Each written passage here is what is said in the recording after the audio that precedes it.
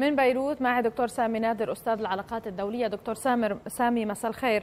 دائما ما نتحدث عن آه، معاقبة آه، هؤلاء كل المسؤولين عن الجرائم الكيماوي. عاجلا أم اجلا ما يحكى عنه اليوم سينضم إلى هذا الملف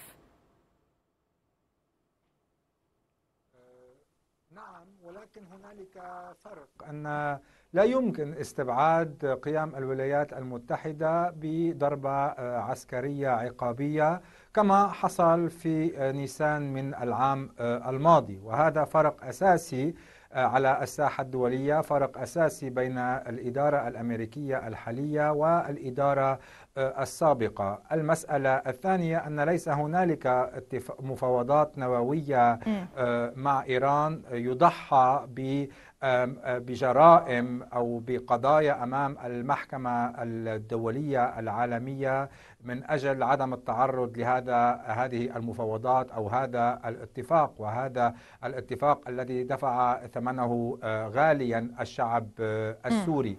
اذا هنالك تبدل أو تغيير الحاجة. صحيح.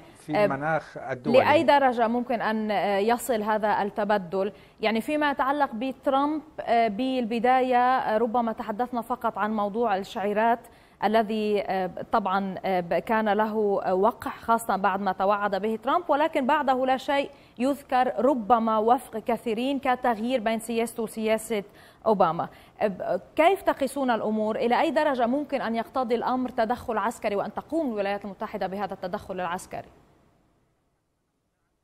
أعتقد هذا أمر حصل وقد تقوم الولايات المتحدة الأمريكية بضربة عسكرية إذا ما كان إذا ما بادر النظام السوري أو القوى المتحالفة معه بتنفيذ ضربة كيماوية. ولكن أهم من ذلك أنا أعتقد أن هنا عبر هذا هذه القضية ملف لمزيد من الضغط السياسي آه، آه، على النظام السوري والأهم من ذلك هنالك ضغط غير مباشر على الطرف الروسي.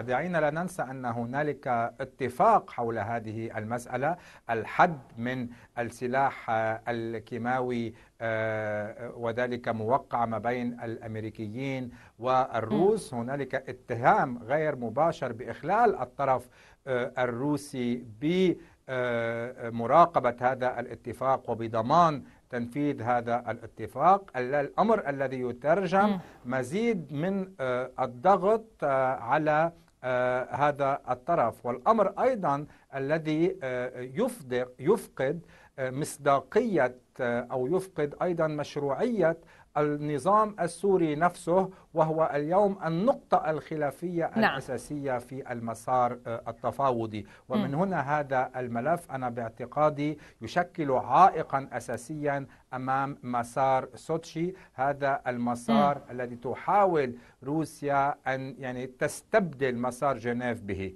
طيب اللي هو لهذا يعني تحدثنا عن على الأقل مكاسب سياسية من خلال هذا الملف م. عن تدخل الولايات المتحدة كردات فعل عسكرية لأنه التقرير اليوم يتحدث عن استخدام يعني أدلة تثبت تورط النظام باستخدام كيماوي جديد بحلب إدلب دمشق. بعيدا عن هذا الموضوع قانونيا المحاسبة كيف المحاسبة التي نتحدث عنها دائما وبأن بالقانون موجودة مهما طال الزمن أو قصر كيف متى شواهد تاريخية حدث فيها نفس الموضوع. يعني هنالك آه، هذه تعتبر جريمة ضد آه، الإنسانية وهنالك أكثر من مثل ممكن إعطائه ليس يعني أقله ما حدث في سيربرينيسكا صحيح أنه لم تحدث آه، هناك استعمال بالكيماوي ولكن ما اعتبر جريمة ضد الإنسانية طال الزمن ولكن عادت عاد المسؤولون أمام القضاء وحكموا وكثيرون منهم اليوم هم خلف القضبان. هنا المحكمة الدولية من أجل يوغوسلافيا قادت أكثر من 250 شخص.